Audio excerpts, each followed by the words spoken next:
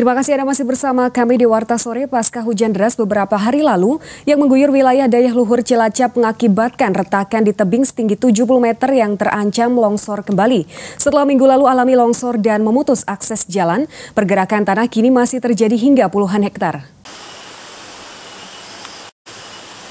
Akses jalan penghubung dua kecamatan Dayeh Luhur dan kecamatan Wanareja kembali terancam dengan adanya retakan tanah sepanjang tebing setinggi 70 meter yang sempat longsor pada minggu sebelumnya hingga memutus akses jalan tersebut.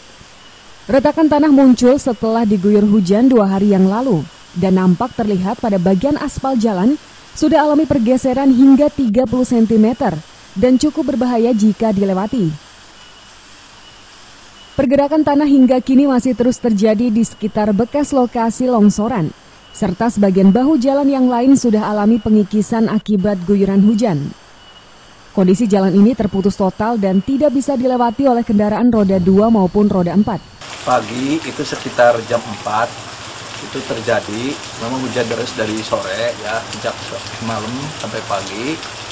Dan jalan yang menghubungkan antara kecamatan yaitu kecamatan Wanarja dan Dailuhur, yaitu yang mana lewat dua desa Hanum Palugon, itu terjadi gerakan tanah yang menimbulkan longsor sehingga jalan itu terputus total. Nah. Sedikitnya ada sekitar 10 hektar tanah yang terdampak pergerakan tanah tersebut dan ada 8 rumah warga yang kini ikut terancam pergerakan tanah ini. Jika hujan deras kembali mengguyur wilayah ini, warga yang terdampak pergerakan tanah ini selalu khawatir dan cemas. Mereka berharap agar pihak pemerintah terkait segera memperbaiki atau membuat jalan kembali Pasalnya jalan ini merupakan satu-satu akses penghubung dua kecamatan.